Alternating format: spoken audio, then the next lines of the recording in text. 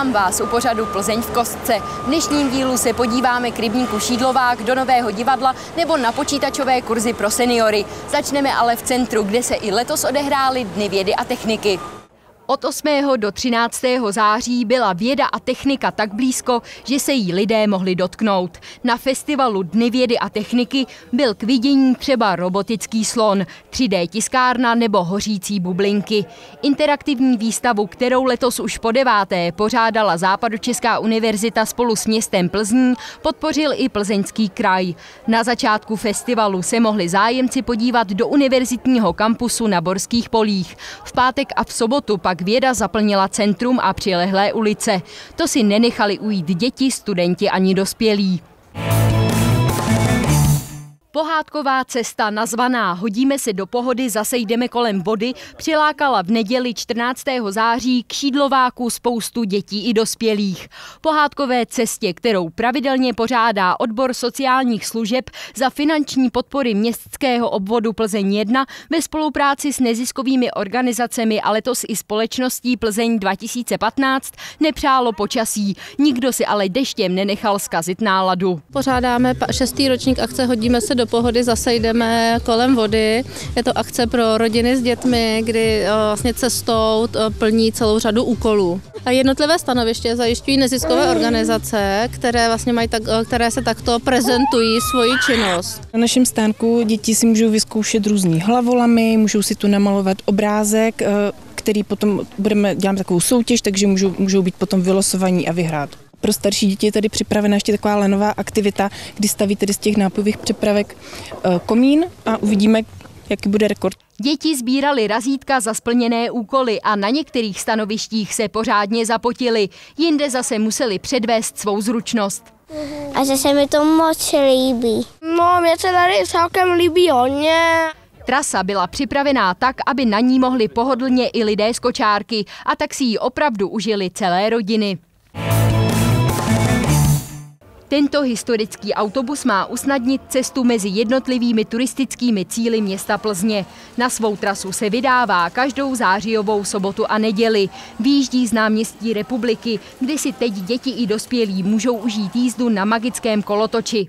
Odtud pak míří do zoologické zahrady nebo na nádvoří městského pivovaru. Spolu s jízdenkou získá cestující slevu třeba do muzea Petn Memorial Pilsen nebo na už zmíněný francouzský kolotoč. Ocenění, které poukazuje na výjimečné osobnosti v oblasti kultury a umění, udělili zástupci města Plzně už po druhé. Letos se tak stalo ve středu 17. září v Měšťanské besedě. Cenu za mimořádný umělecký počin pro umělce do 30 let získal Bohdan Bláhovec za film show. To je takový dokumentární film o českém showbiznesu. Za celoživotní dílo obdržel cenu Jan Sedláček. Ten je významnou uměleckou osobností nejen plzeňské kultury, ale také hudby. Na předávání nemohl přijít a tak za něj cenu přebral jeho syn. Letos se poprvé udělovala i cena nazvaná Společnost přátelská umění a kultuře. Mecenášem plzeňské kultury se stal architekt Jan Soukup. Já vedu několik občanských združení, které se zabývají obnovou památek. Tady v Plzni si myslím, že to bylo za kostel kostelík u Ježíška, o který se staráme už 14 let a který jsme z ruin přivedli do stavu, že se v něm konají koncerty. Oceněná byla i významná kulturní událost roku. Tou se stal projekt Fakulty designu a umění Ladislava Sutnara Západočeské univerzity v Plzni a společnosti Plzeň 2015. Modely Datorino. To byl takový jakoby mezinárodní studentský projekt dvou škol, Fakulty designu umění Ladislava Sutnara v Plzni a Escuola Flick cirkusové školy v Toríně v Itálii. Ze 14-denního snažení vzniklo představení, které se líbilo natolik, že dosáhlo na již zmíněnou prestižní cenu za významnou kulturní událost. Původní romantický muzikál Divá bára, který vznikl podle povídky Boženy Němcové, naskoušel pro scénu Nového divadla operetní a muzikálový soubor divadla Josefa Kajetána Tyla.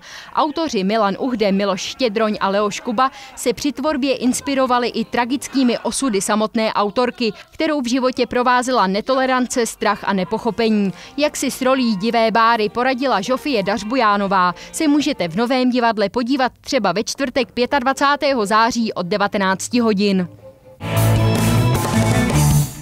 V září se do Plzeňské střední školy informatiky a informačních služeb opět vrátily počítačové kurzy pro seniory. Ty jsou stále oblíbenější. Letos se do nich přihlásila bezmála stovka uchazečů. Aspoň základy, no, se dá učit. No, tak mladý to umí z jedné ruky, že jo. My ne, my starý už jsme žený ročník. No.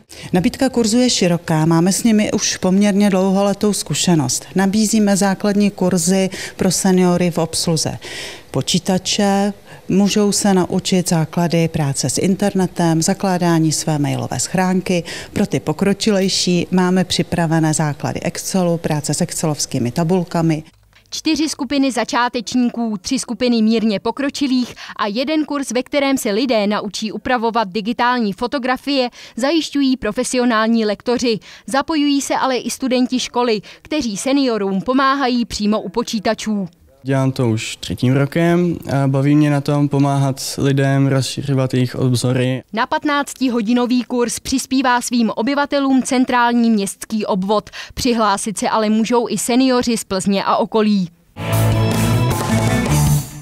Sportáček Festival sportu pro děti, který se v sobotu 13. září odehrál v areálu tělocvičné jednoty Lokomotiva, si kladl za cíl přivést co nejvíce dětí ke sportu. Nejrůznější aktivity si mohli ti nejmenší vyzkoušet a pobavit se. Rodičům pak akce umožnila poznat, pro který sport mají jejich potomci talent a případně se mohli seznámit i s trenéry vybraného sportu. Je z dnešního dílu pořadu Plzeň v kostce všechno. Příště vám ukážeme třeba to, jak bude vypadat náměstí Emila Škody a vezmeme vás i do losových interiérů v Bendově ulici. Tak se nezapomeňte dívat.